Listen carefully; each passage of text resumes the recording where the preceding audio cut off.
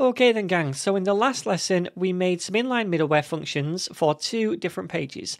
We made one for the logout page which deletes the user cookie and navigates the user to the login page and we made one for the index page to act as a bit of a route guard and only let logged in users see it. Now, when it comes to the authentication one, I might want to apply the same kind of middleware function to another page on the site, for example, the admin page. Now, I could just add the same inline middleware manually to that page as well by copying the whole function right here and pasting it in, but that leads to code duplication and it makes maintaining and updating the code harder. So instead, we could make the middleware function in an external file and then we could reference that middleware in whatever page needs it. And this way, we'd only be making the middleware function once, making it much easier to maintain and update. So, how do we do this then? Well, the first step is to make a new folder in the project root directory called middleware. This is where Nuxt expects us to make our middleware functions. Then inside of this folder, we make a file for each middleware function that we want to create. So I want to create some authentication middleware, which checks the authentication state of a user. And for that reason, I'm going to make a file called auth.ts. So I'm using TypeScript, but you can also use JavaScript if you prefer.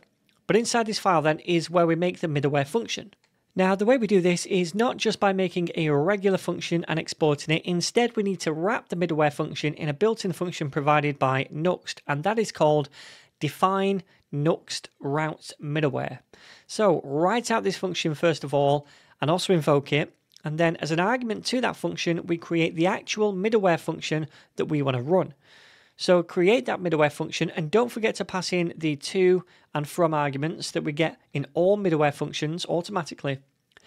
And now we have this function, we can flesh it out.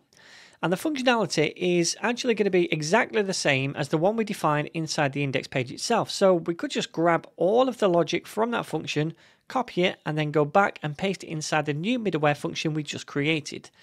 And then finally, we also need to export this whole thing. So before where we use this define Nuxt route middleware function, we can say export default to export this. All right, so now we've created this external middleware file. We can use it inside whatever page needs it. Now, the way we do that is by going to the page and then using this define page method, just like we already have done in the index. And then instead of the middleware property being a function, it can be an array of named middleware functions. So we can replace this with an array right here and then add the name of the middleware as a string to this array that we want to use. And the name of the middleware is the file name that we gave to it inside the middleware folder minus the extension. In our case, that's just going to be auth. So we can add that in right here as a string. Now, Nuxt knows to look inside a middleware folder for a file called auth.ts or JavaScript or whatever, and it applies that middleware to this page. And when we use middleware this way, it's known as named middleware. And the great thing about this approach is that we can just use this middleware now in as many different pages as we want. So I could copy this whole thing right here and then head to the admin page and inside the script tags I could just paste it in. And now this same auth middleware gets applied to this page as well meaning that we're protecting both the index and admin pages against unauthenticated users. And now this is much easier to update for us because if we want to change the middleware we're only making that change in one place where it's defined in its own file and we're not doing that in every page that uses it Alright then, so I'm currently not logged into the application. There is no user cookie. And if I try to go to the home page or the admin page, well, it doesn't let me. It doesn't let me see those pages because under the hood, it's running that middleware before we go into each page. And it's checking, are we logged in? No, we're not. Well, it redirects me back to the login page instead. So we never get to see those pages. So I'm going to log in as Mario and then any old password. And when I do that, I can't see the index page and I can see the admin page. So this works.